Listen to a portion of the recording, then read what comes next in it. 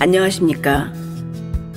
1996년부터 한 자리를 지키고 있는 동두천 해성산부인과 원장 박혜성입니다.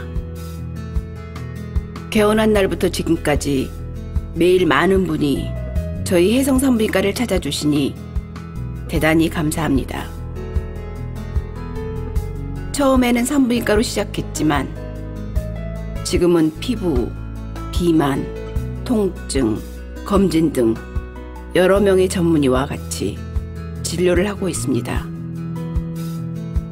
진료를 하는 의사나 진료를 받는 분은 모두 긴장되어 있는 상태입니다. 그래서 사소한 말이나 행동으로 서운하게 느껴질 수 있는 곳이 병원입니다. 혹시 저나 저희 직원들의 말이나 말투가 불친절하게 느껴져서 기분이 나쁘거나 설명을 잘 이해하지 못했을 경우 반드시 다시 물어봐 주십시오. 해성산부인과 직원은 사람을 사랑하고 널리 인간을 이롭게 하려고 합니다. 환자를 치료하는 의료진으로서 좀 더 잘하겠습니다.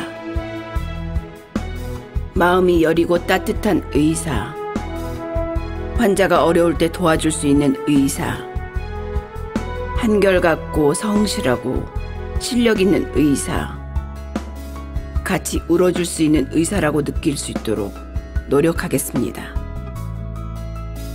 그렇게 해성산부인과의 의료진은 오랫동안 변함없이 행동하겠습니다. 다시 한번 해성산부인과를 찾아주셔서 대단히 감사합니다.